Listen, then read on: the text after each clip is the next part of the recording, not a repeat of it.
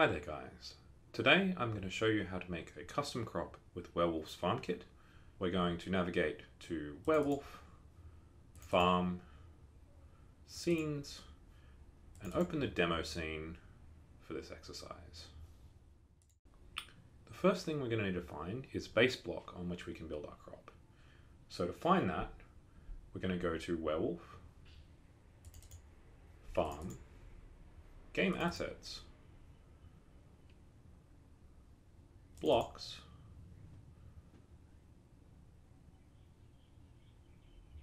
and basic.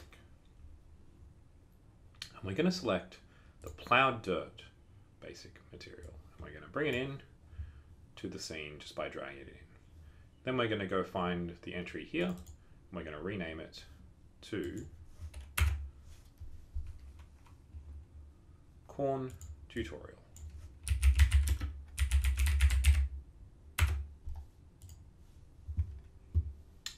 Now we're going to save this by going to Game Assets, Tutorial, and we're simply going to drag this back into here. As you can see, I've already done it, but you can just simply drag it back and load it into the uh, menu here. We're going to use corn today because corn has two different models that we use to demonstrate growth. And this is likely what you'll have to do if you import your own models that have some form of animation to indicate that they're growing. So we have a, an initial stage of growth and we have a final stage of growth that we want the corn to grow into. So first things first, we're going to select corn tutorial in the scene hierarchy and we're going to right click and create an empty. Then we're going to grab these corn uh, models and we're going to drag them into corn tutorial. So stage one and stage two, as you can see.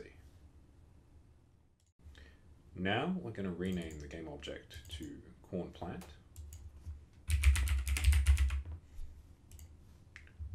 Just for the sake of consistency. And then we're going to move these corn objects to be centered in the object. Uh, to be kind of where we want them to be on top of the block. So that may take me a couple of minutes. You can see here that I've edited the box colliders so they match the base of the model and the base of the model it's just connected to the base brick that you're going to be using here. So the way you do that is you can click on edit collider and then you get little drag handles that you can easily just sort of move to fit the base of the object like so. And then you can deselect it and if you need to adjust the model you can move it around just using the handles as normal. If you need to check you're accurate you can use this adjuster. I'm sure you're probably aware of this already. Now, we're going to add these pieces of corn to the brick as crops. So we need to select the corn plant object and we need to add a component to it. Um, and we're going to use a crop component, which is one of the ones that comes with this package. Um, in the crop component, it has this tiers drop down. We're going to set this to two because there's two objects that we want to add.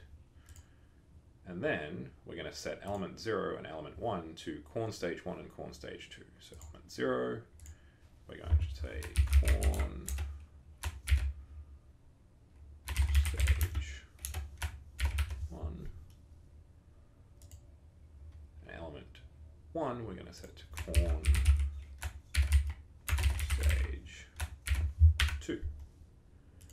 Now we're also going to set the growth here now. The growth indicates when each one uh, appears. So we want the second stage to appear at around growth 60. So I'm just going to set that to 60. I made a little error earlier in the recording and I dragged these two types of corn uh, into the overall corn tutorial drop. Um, so we actually need them to be nested inside the corn plant object. So we're just going to do that now. So there we go, that's all fixed up. Now, we're going to copy this corn plant four times so we have more than one of them on the, uh, the base block here.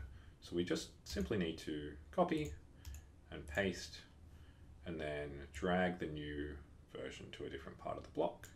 We can repeat that a few times And so we have corn all throughout our block here.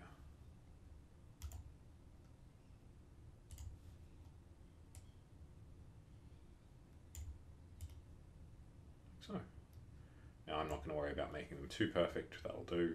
But if you want to make them uh, very symmetrical, you can use the various different tools to make sure everything lines up perfectly.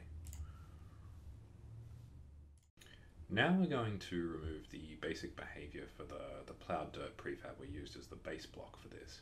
So we're going to go to corn tutorial, the overall object, and we're going to go and remove this plowed dirt script. Uh, so we're just going to remove that component. And now we're going to start adding in all of the uh, behaviors and details for this particular crop. I've gone ahead and adjusted all these values in. So we have a name, sweet corn, a buy cost, which is the cost it takes us to buy this particular crop, and a sell price, which is the money we get from selling it and harvesting it. Uh, we have a grow size set to 100, which is the maximum size, a grow speed set to medium, uh, a starting point of 35 and a harvest point of 60. Oops, set that back. Um, so this will be the point where the crop is harvestable, which, if you remember, coincides with the point where it'll switch to the second stage on the uh, corn art. Uh, we have a start color and end color, which we haven't changed at all, and a dry color set to brown, so if it dries out, it kind of starts looking a bit wilted. Uh, no color variation. We've set scaling to width and height, and we've set these three variables to true. So it's a plowable crop, so you can plow it with the plow tool. Uh, it's destroyed when you harvest it, and the growth is going to be animated. Now we're good to go. So I'm just going to save over this original corn tutorial object. So I'm just going to drag this down here and there we go. We have our corn ready to go. Right, so our last step is just to test this out. So what we're going to do is we're going to go to our UI uh, drop down in the hierarchy and we're going to take the existing plant corn um, option and we're going to go down to here and this is the option that allows us to actually place the crop. I'm going to leave all this um, to sort of be figured out. It's pretty evident. Um, all we got to do here just to test this is to grab our corn tutorial. We're going to go and replace the one in the existing menu, just so we can test it out, like so. And now if we go into a game, we should be able to test this. So we've just jumped into a game here. We're going to uh, just plow our crops and just plant some corn in under the sprinkler here and then fast forward just so we can see it working. You can see it's all grown up now. Uh, there's four stalks of corn like we placed. You can see it's kind of growing a little bit differently and in different sizes to the regular corn, just like we intended. And then we can sell it if we want. And that still works as well.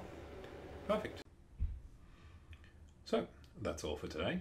Obviously you can see there's lots and lots of other options you can try out and that's the goal of the farm kit, for you to play around, come up with all sorts of cool stuff. You can import other models from outside, um, the ones provided, and you can fiddle with everything to your heart's content. Enjoy guys. Bye.